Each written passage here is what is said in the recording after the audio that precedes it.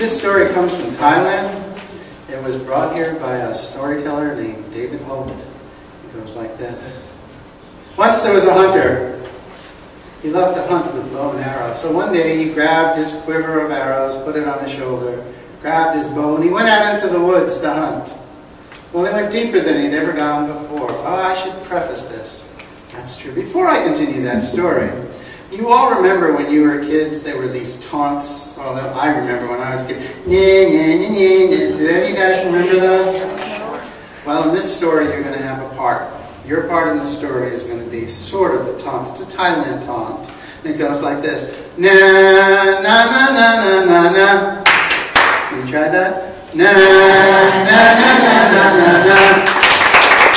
Very good. So there's the hunter. He's hunting out. He's been further into the woods than he's ever been before. When all of a sudden he hears a sound he'd never heard before, and it sounds like na na na na na na na. What is that horrible sound? He says, and he went further into the forest till he came to a special tree. He'd never seen this tree before, but there on the top of the tree was a beautiful golden bird. The bird looked down at him and went, nah, nah, nah,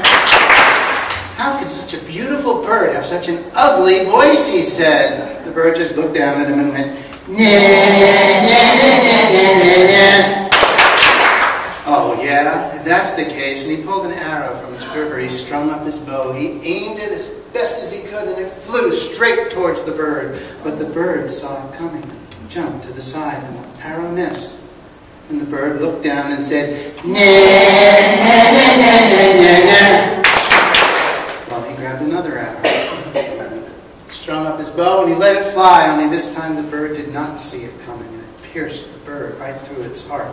And the bird fell down through the trees, and he was caught in a sack that the hunter had. And he threw it on his back and started walking back towards his cabin. But as he was walking back towards his cabin, he heard from the sack. What is that? he cried. And when he got into his, his, cabin, he opened it up and he took out the bird and he started plucking out all the feathers. And when he finished pluck, pluck, plucking out all the feathers and put the bird down, he, he, he turned to, to, to wipe off his hands. And behind him he heard clap, clap, clap, clap, clap, clap, clap. No! That can't be true. And he grabbed a real long, sharp knife, and he chopped the bird into a hundred pieces.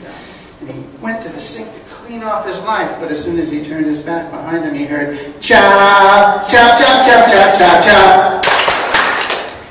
This is terrible. I, I, I can't stand this, he said, so he got a big pot, filled it with water, put it on the fire until the water was boiling, and he took those hundred pieces and he poured them right into the pot of boiling water. He went back to fry off his hand. But as soon as he turned his back, behind him he heard. No, he said. So he grabbed the pot and he took it outside and, and, he got a shovel and he started digging a hole and he dug and he dug and he dug and it was bigger than he was. And when he was finally done, he poured out all the water and he took those hundred pieces, threw them into the ground and he buried it as best he could. He stomped it down and he turned back towards his cabin. Behind him he heard, mm, mm, mm, No, he said, so he had to dig up the hole again. And as he dug up the hole, he found every one of those hundred pieces. He took them and he put them in a big wooden box. And, and, and he sealed the box. He tied it tight with rope. He got a big rock. He put the rock on top of the, the box and he tied the rock onto it. And he walked, walked it all the way over to the river and he threw it as far as he could. And the box had sunk to the bottom. And he listened. And he didn't hear anything.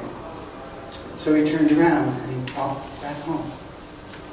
Well, waves and current worked on the box, and as the waves and current worked, they loosened the ropes on that rock. And once the rock was loosened, the box, being wood, floated to the top.